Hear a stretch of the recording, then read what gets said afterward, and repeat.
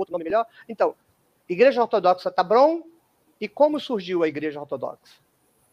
Não podemos usar essa nomenclatura, Igreja Ortodoxa. As igrejas ortodoxas preferem o plural, okay? as igrejas ortodoxas. É, mas a pergunta, na verdade, pode ser feita da seguinte forma: como surgiu a igreja? É, porque as primeiras igrejas ortodoxas é, já aparecem nas páginas do Novo Testamento, né? A gente tem a primeira e mais antiga igreja do cristianismo, que é a igreja de Jerusalém. Esta seria uma igreja ortodoxa.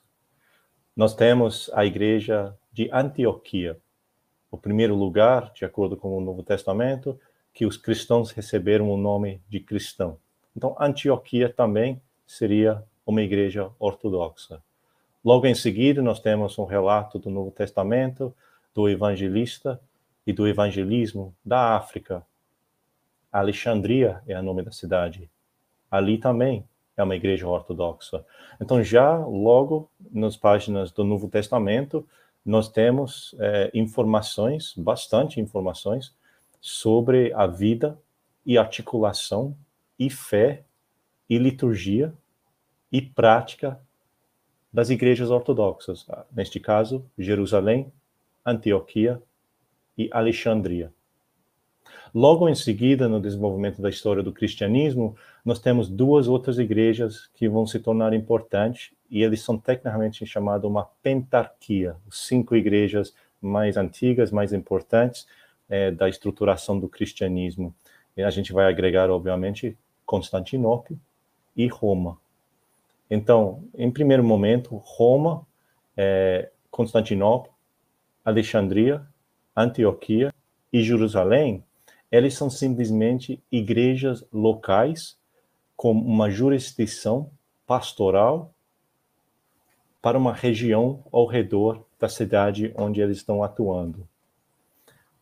Então, cada igreja não vai se chamar igreja ortodoxa, vai simplesmente ser a igreja de Jerusalém, a igreja de Antioquia, a igreja de Alexandria, a igreja de Constantinopla, a igreja de Roma. E só mais tarde que a gente vai é, começar a usar essa nomenclatura é, para designar igrejas é, do lado oriental e do lado ocidental.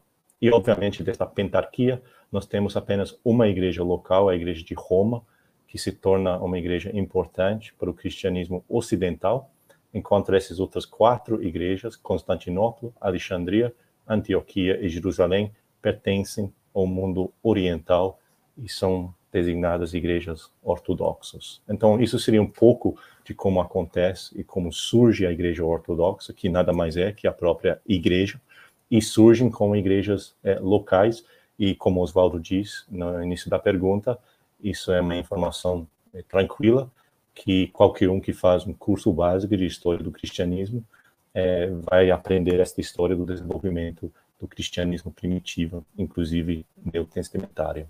Então, eu acho que eu posso parar aqui, a não ser se quer que eu aprofunda mais alguma questão.